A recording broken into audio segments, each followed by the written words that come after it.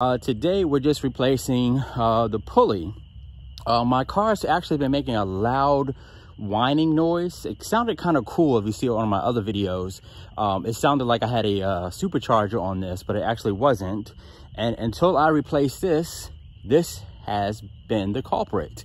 Um, if you can kind of look inside here a little bit, uh, it has like a lot of cracks.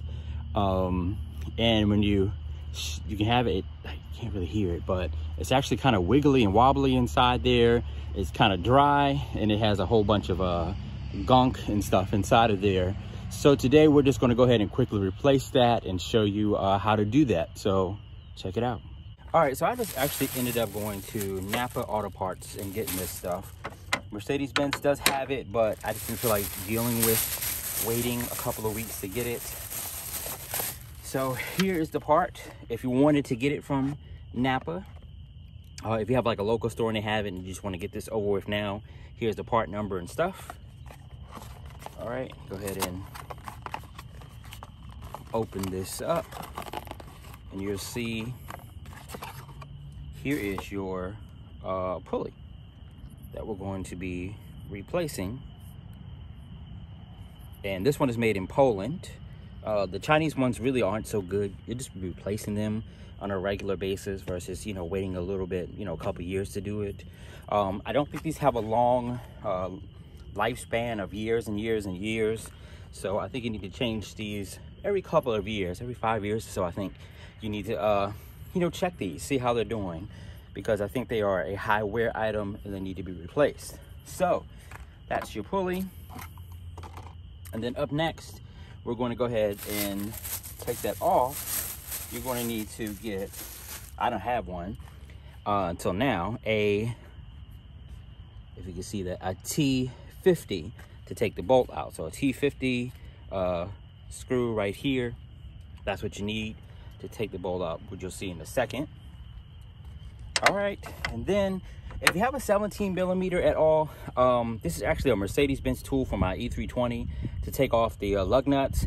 But this one actually is a long one to get down into the uh, tensioner and pull that up. So I'll be using that uh, to get that up to loosen up the belt. All right, to get started with the pulley, we're just gonna take off uh, the safety, the uh, safety cap that's right here. All right, just want to show you down here. That's where you're uh, going to pull up on your pulley to let the tension off of your uh, belt right here. So you're going to pull with one arm. All right, I'm hoping you guys will be able to see this as I do it. Um, so you're just going to be pulling up, the tension off, and then you can take the belt off the pulley. Then release it back up like that, plain and simple all right so you can see the pulley you know is is right here. And what you need to listen for for all your pulleys to test it it should be nice smooth uh, operation. So let's see what this one's like. Yeah.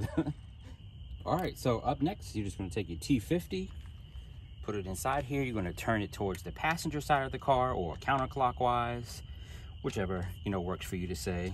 Um, I'm not sure how good you can see that. All right, with your T50 and let's see, try this again. Get a little bit better grip on it.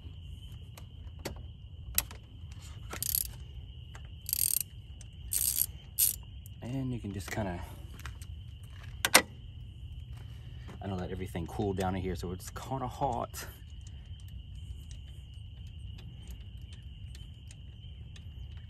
That's my fault. About to get dark pretty soon, so I was like, I better hurry up and do this like right now. you know how we need a rush. But anyway, so you can go ahead and pull the rest of this out. Shoot, I don't have a, a rag or anything.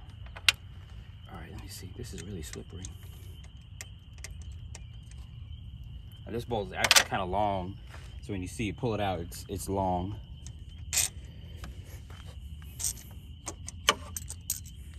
Right? And that's pretty much your bolt. And here is the old pulley. And actually, if you can see, it's actually kind of like greasy in there. See with this one right here, with the new one, And then the old one is greasier inside of there, which is, oh, and it's really cracked too. Wait a minute, let's see can focus. See how cracked that is? So I would have never known that uh, at all. Wasn't expecting that. So usually crackness or cracks in it will let you know also that it's going bad and grease and all that kind of stuff. So. All right, the old one, I don't know what's the front or the back with the difference in this one versus the Mercedes-Benz one. Um, I guess this is the front. This one's actually made in Canada, so that's even better. Hey, supporting Canadian builders, so that's what's up. Um, all right, so let's go ahead and put this on. All right, so let's see.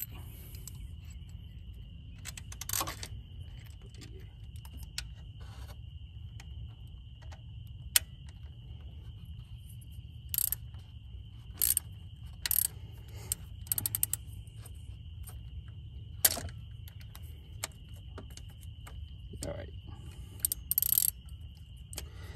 So it's gonna take that out real quick. Not gonna try to stay up where it's supposed to be while you're turning it. So, so hold it in place while you're turning for the first couple of turns.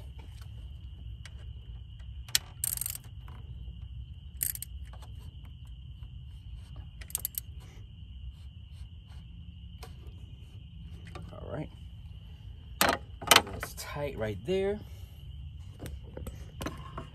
Of see how that is. All right, so now the new part is on, and let's do the spin test.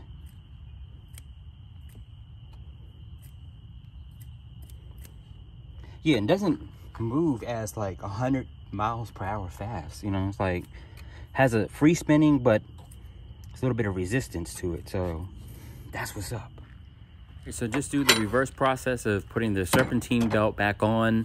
Remember the uh, grooves go into the idler arm, back down over the uh, alternator and around um, the water pump uh, itself on the smooth side. So after you've got that all done, everything's nice and tight, you can go ahead and put the uh, engine covers back on and I'll start the car up and you can see that it runs quietly, no rattling, no squealing or anything like that. A 15 minute job done uh, easily and you save some money.